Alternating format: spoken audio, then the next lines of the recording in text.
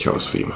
Danas ćemo prikazati laptop iz, rekao bih, više srednje klase koji je napravio Asus i oznaka ovog modela je FX505DU crtica BQ150, ako ne grešim. Mislim, laptopovi činično stanje imaju dosta čudne oznake, ali bilo kako bilo, to bi trebalo da je taj model. Ako primetim grešku, ispravit ću se u nastavku ovog videa.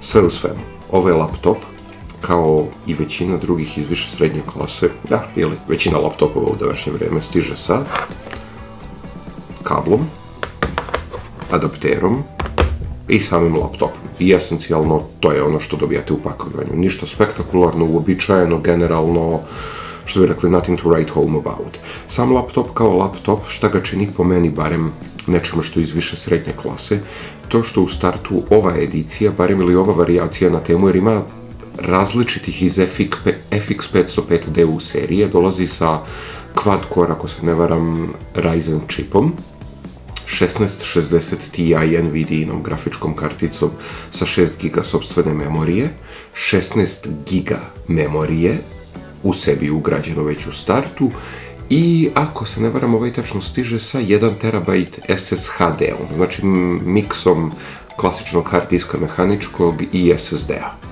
Naravno, nije mi trebalo mnogo da upgradeujem ono što se moglo upgradeovati, a to su memorija i hard disk, to jest, memoriju odmah sam ubacio još 16 GB, jer vrlo bitno za napomenuti, ovaj model konkretno koji ja imam je stizao to jest meni je stigao sa jednim modulom od 16 GB, što znači dual channel nije postojao, a dual channel je opet bitan kod većine procesora danas bilo da su AMD, bilo da su Intel, te samim tim sada ima dva modula od po 16 GB, od po 16 GB, to jest u totalu 32 GB memorije.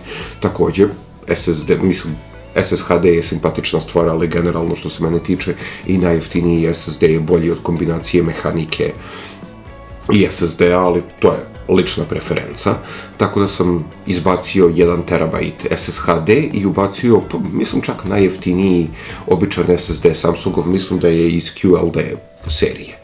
Čisto da napravim prežib i generalno prezadovoljan sam. Što se tiče samog laptopa kao laptopa, dolazi sa 144 Hz ekranom, E sad, pošto kao što rekoh, sam laptop dolazi sa 144 Hz ekranom, to znači da i sama grafika jela i treba da gura tako nešto.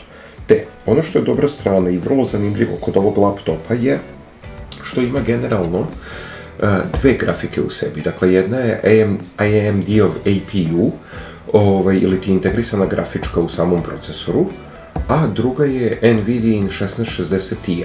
Kao što sam napomenuo, Dakle, uzimajući obzir da je 1660 Ti ono što jeste solidna grafička kartica, ovaj, ona opet isto tako troši mnogo energije. Samim tim, ovaj laptop u stvari u sebi ima dve grafičke, kao, što napomenu smo, gde AMD-ov Radeon RX Vega 10 je u pitanju, jel te, shodno Ryzenovom čipu, uglavnom radi onda kada nema 3D zahteva, 3D igrica itd., a automatski se switchuje na GeForce onog momenta kada pokrenete nešto zahtevnije, bilo da je to igrica 3D render ili nešto treće, šta god da koristite. Dakle, u ovom trenutku, kao što se da primetiti, GPU 1, što je AMD Radeon, je na 1, 2, 3% na primjer iskorišćenosti, mada trenutno sam u Windowsu i ne radim ništa posebno, dok uh, Nvidia GeForce 1660 Ti je kontinuirano kontinuirano na nuli. Dakle, apsolutno ništa ne radi i da kažemo u nekom je sleep mode.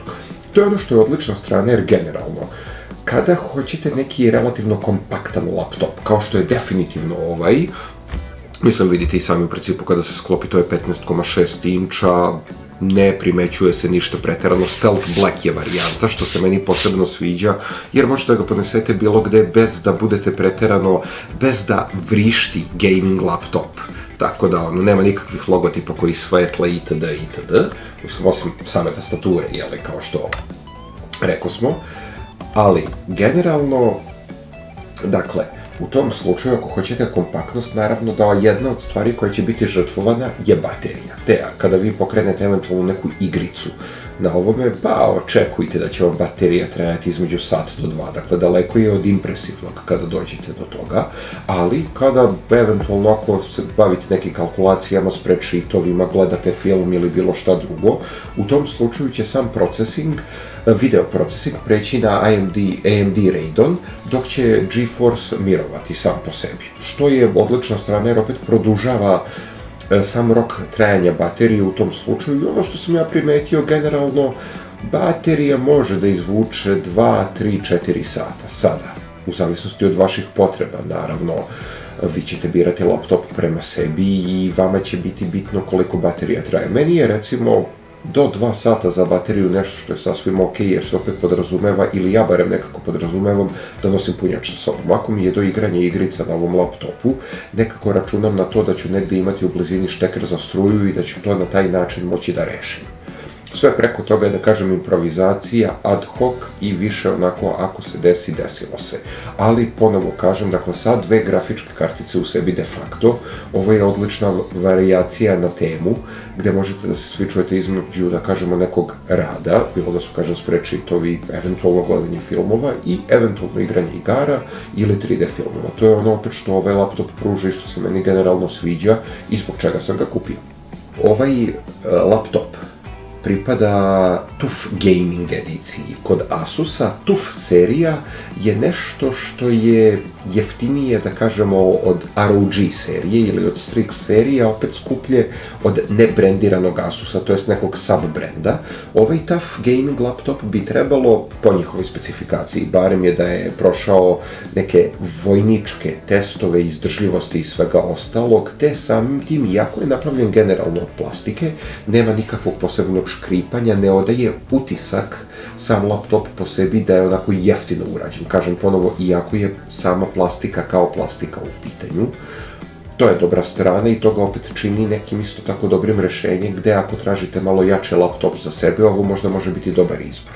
Ponovo, ovo je daleko od jeftinog laptopa i sigurno nije ni ovo za svaki, svačiji džep, jer u momentu mislim kada se ovo gleda ili eventualno kada se kupuje, ovo je koštalo negde možda oko 1000 evra tiče samog upgrade, laptop je vrlo lak za upgrade, ošafite par šafova na dnu i možete pristupiti memoriji i hard disku vrlo lako ih zameniti. Takođe, ukoliko laptop držite na krilu i igrate se, zna da postane malo topliji na putinama, tako da je pitanje koliko ćete izdržati u takvom nekom položaju sa intenzivnim igranjem ili gaming sesijama. Pa eto, možda vredi napomenuti i to. Da, ono što bi možda isto tako vredelo napomenuti ovde je tih 144 Hz panela što sam pominjao, to jest osvežavanja. E, nisam mogao da podesim u samim podešavanjima Windowsa, te je moja pretpostavka, nisam našao detalje na internetu, da se verovatno isti automatski overclockuje po potrebi ili usklađuje sa refresh rate-om igara. Tako da eto, Nadam se da vam je ovaj prikaz ili inicijalni utisci da su koristili. U svakom slučaju, hvala vam. Vidimo se. Pozdrav!